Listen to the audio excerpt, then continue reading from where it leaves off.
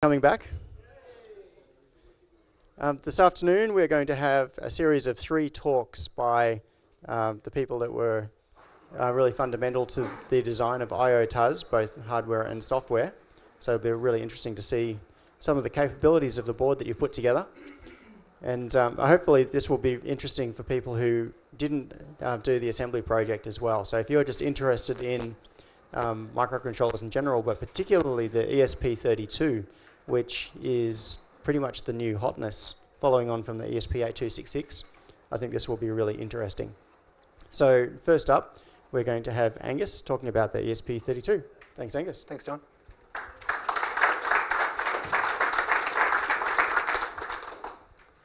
So uh, just before I start talking about the ESP32, which is the microcontroller in the IOTUZ project that everybody's just built, or some of you have just built, uh, I just want to echo John's thanks to the organisers for the miniconf today who really put in a hell of a lot of hours. Uh, my involvement this year has been fairly limited, but um, Andy and Mark have done a great job working on software for weeks at a fairly short time frame. And Bob and John have both done a really incredible job, especially considering they both have uh, children under the age of one of uh, designing and building a hardware project on a fairly short time frame with fairly new hardware. Um, so to take the time to thank both them and I think probably their significant others who probably put up with allowing them the time to uh, get this project down the, across the line.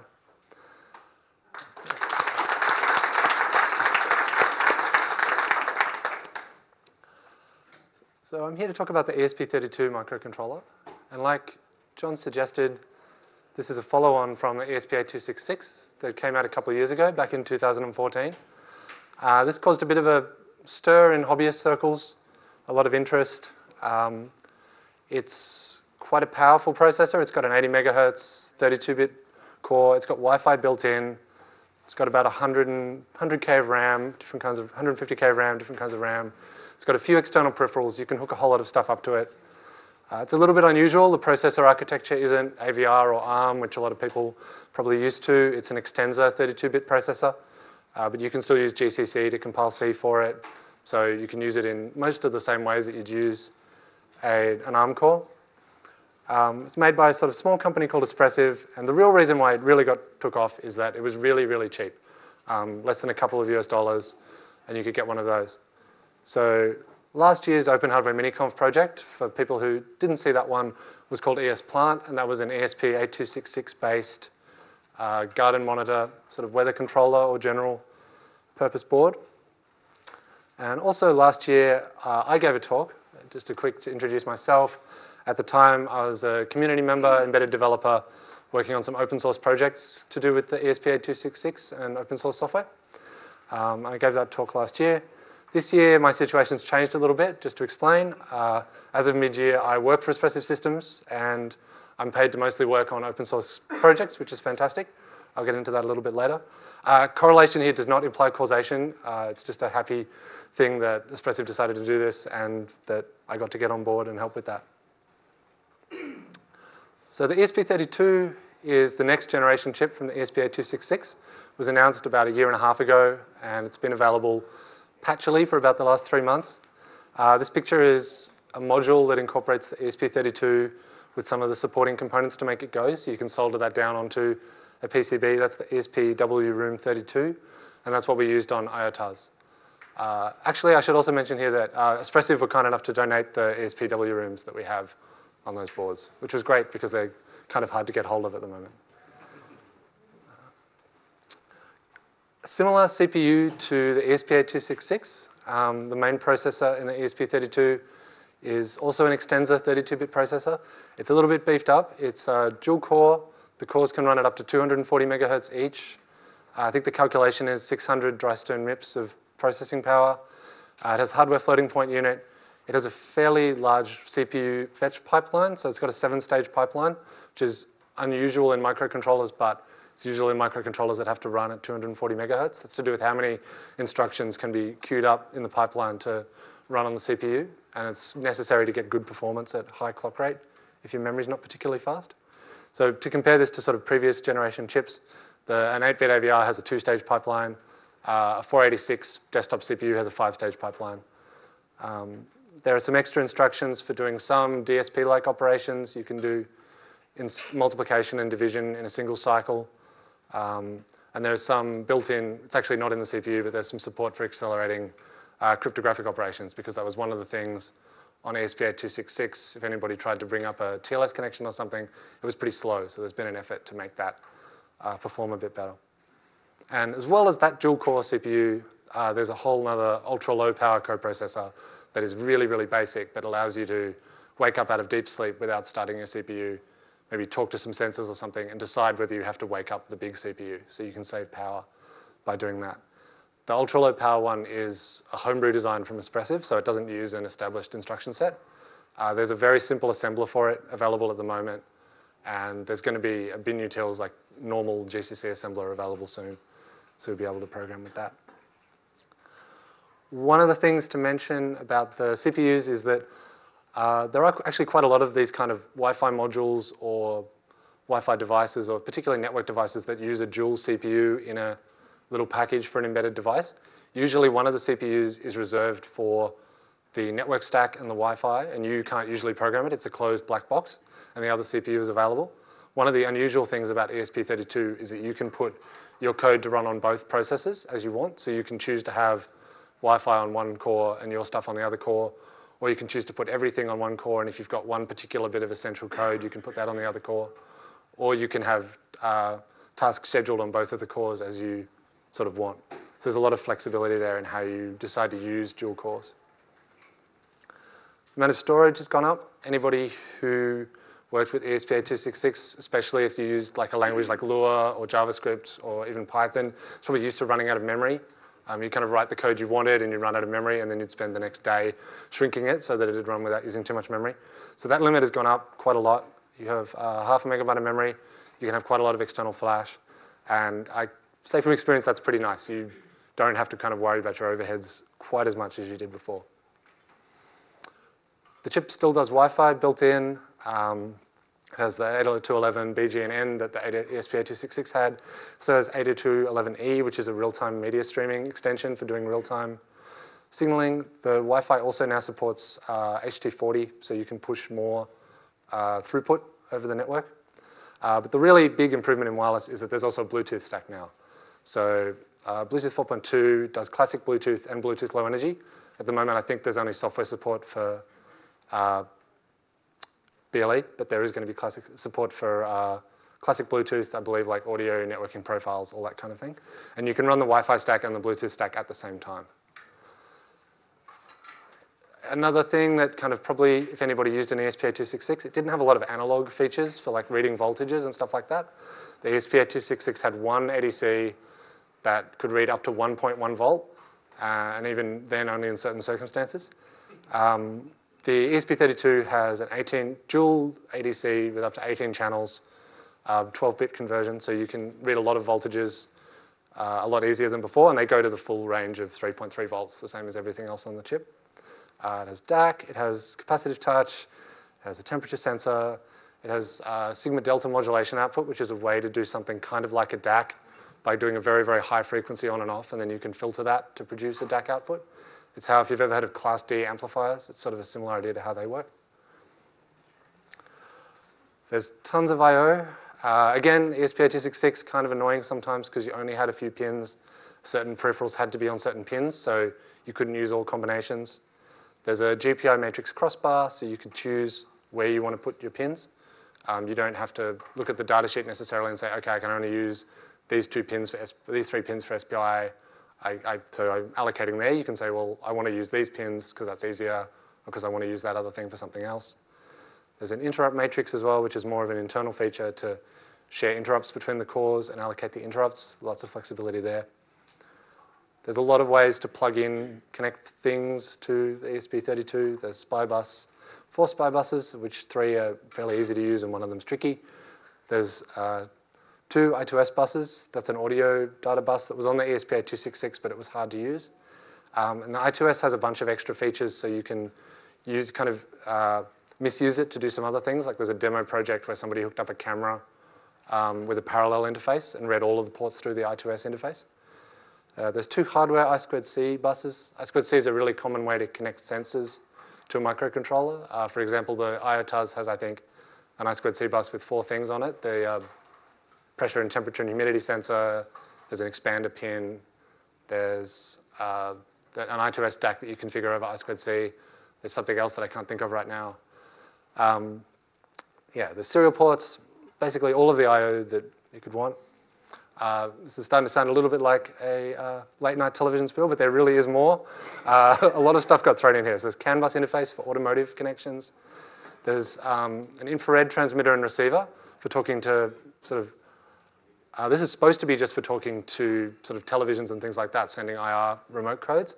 But it also kind of happens that what it is is an engine for sending any stream of digital on and off pulses as a stream. And there's actually a whole lot of places that that's useful. So somebody's already taken that remote control interface and worked out a way to drive uh, NeoPixel type WS2812 LEDs from it. So you can just feed in a stream of pulses and program those. And that is a lot easier than on 8266 again, where you had to do that with software and software timing, and it was a little bit finicky or hack one of the other peripherals. Um, there's various ways to make pulses for LEDs motors. There's an Ethernet interface, so you can have a Wi-Fi, Bluetooth, Ethernet, Internet of Things device if that's what you want. Um, there's a Hall sensor, although I don't think there's software for the Hall sensor yet.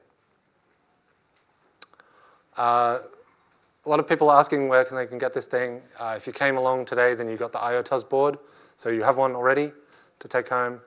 Uh, you can get them from sort of the usual online places where you bought ESP8266s.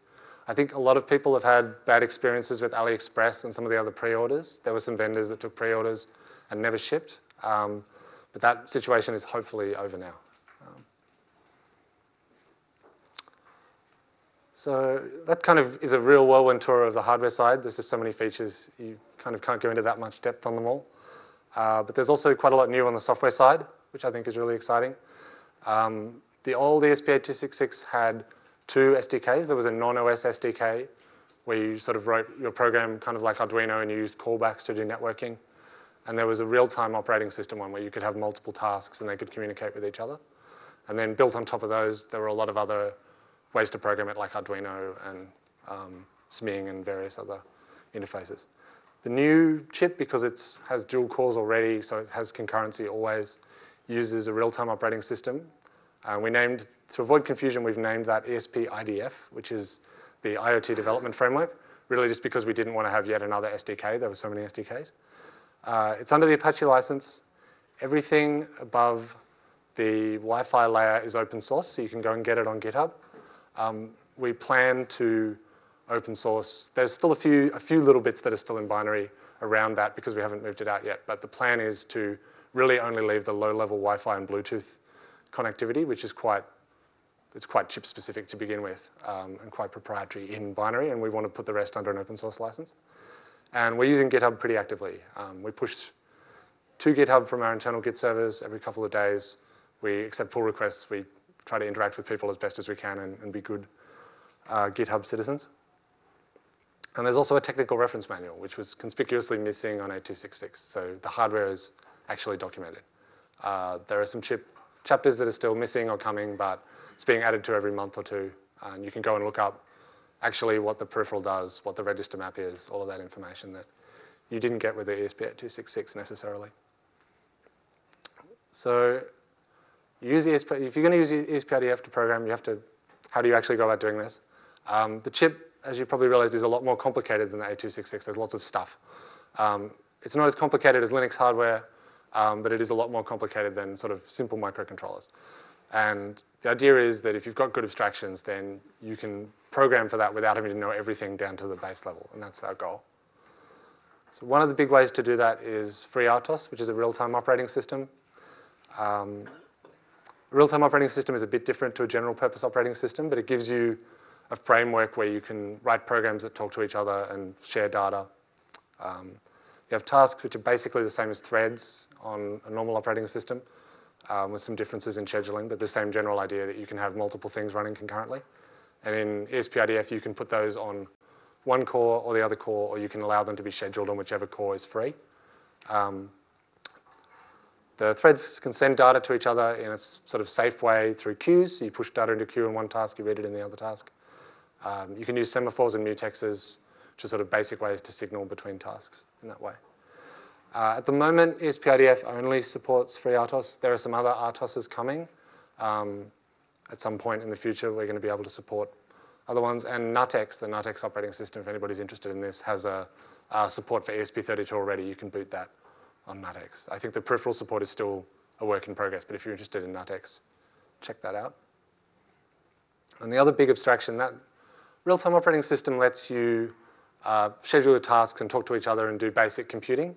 It doesn't really give you anything for interacting to the outside world. It's kind of just a pure uh, computing kind of in, set of abstractions. So the other abstraction is drivers. And ESP-IDF has drivers already in it for these peripherals, and other peripherals are more or less on their way. Stuff is landing every couple of days. So most of the major features in hardware have a driver that you can use rather than having to poke at the hardware directly. And also examples. There's plenty of examples there. Um, if you think that there's an obvious bit of functionality that doesn't have an example, let us know and we'll write an example for it. So you can take the example code and play with that.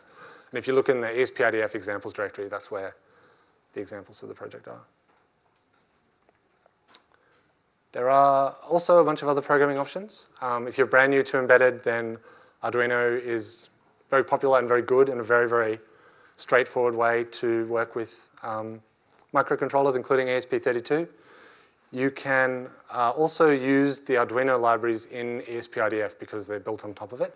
And that's something that the IOTUZ software is using, and I think Mark's going to talk a little bit more about strategies for joining those two together. So you can even take, uh, IOTUZ has a couple of Arduino libraries written for the Arduino environment that it just pulls in and uses um, in the ESP-IDF environment. So it gives you a way to, to mash things up. There's a MicroPython port that we're going to hear about later this afternoon. Uh, the NodeMCU project, which ran Lua on the A266, is up and running on the ESP32. There are a few JavaScript projects. I'm not actually across where all of those are at. Um, the bottom two I put with lines through them because that's my wish list for things I want to run on ESP32. Um, uh, Rust is a very interesting language for embedded. Unfortunately, you can't run Rust unless you have LLVM support for your platform, and Xtensa doesn't have LLVM support yet. Um, so hopefully some people will get interested in adding LLVM support for Xtensa, and then all kinds of interesting things might happen. Uh, the other one is really more, I don't know anybody else who shares this idea, but I really liked systems programming in Erlang uh, some time ago, and I think that a lot of Erlang concepts map to real-time OS concepts. So someday I want to try to run Erlang on a microcontroller, but uh, that's just putting that out there in case there's any other Erlang fans who want to come and talk to me about it later. So um, yeah, go and jump in. You've got some hardware. Um, there's plenty of people in the room that you can grab if things don't work or if you've got questions. Uh, the documentation is all for IOTUZ and for ESP-IDF is up there, so let us know what you find. Uh, thanks. I think I've got five minutes for questions if people want to ask anything. question, we'll bring the microphone down to you. So, anyone questions? no, I'll be back in a second. Do you have any here I can buy? um, I don't, I'm sorry. but they will be easier to buy soon, I promise. Uh, what does the modules typically cost, and can you get them um, with on different boards, exposing the um, different pinouts and things like that? yeah, yeah. The question was, what do the modules typically cost, and what kind of boards can you get available? There are a couple of boards that are developed by Espressif, um, like one called the Core board, and another one called um, ESP-WROVER that has a screen and a debugging interface on it. Um, the core boards you have been for sale through Adafruit, and I think if Tronixlabs is an Australian seller who's had them. They go in and out of stock pretty fast because people tend to buy them up. I think they're somewhere in the sort of $25 range for the core board. Um, the other board with the screen and things like that is up around $50.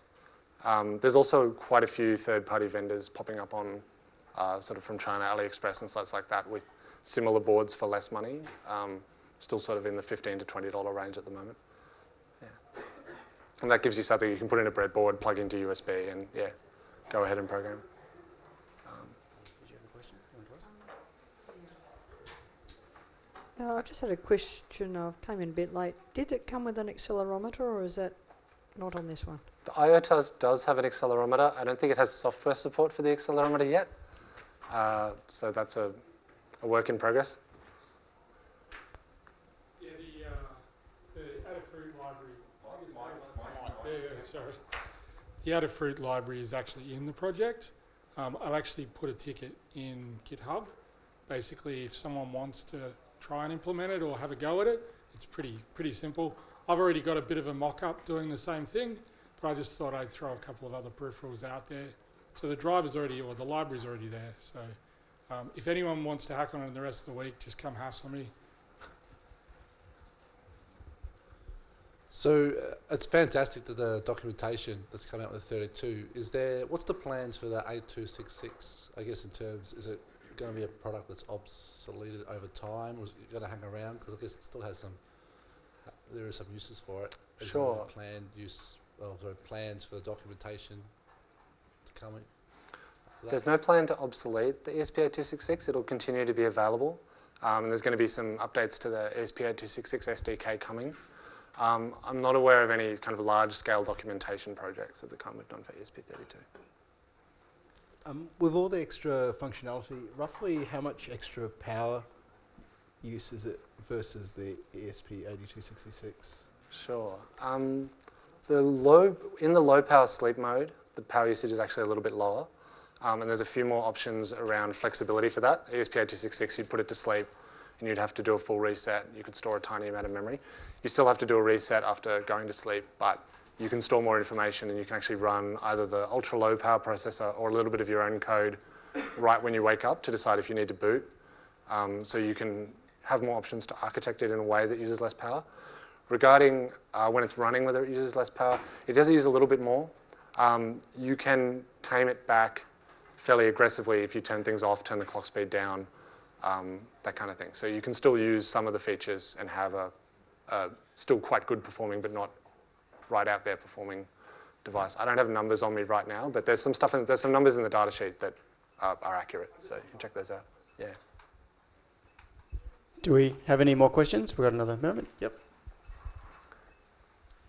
A little more superficial, but um, can you share the story about how um, was there a particular reason why this one was named the 32 and the old one was the 8266? Uh, so naming naming of the chips was before my time, but I do know that at one point I think I saw a Twitter discussion. Uh, John Lee's Espressif Systems Twitter account was asking what should we call the new chip, and I think ESP32 is something somebody suggested, but you'd have to go and dig through Twitter history to, to know that. Okay. Any final questions? No. okay. Well, thank you very much, Angus.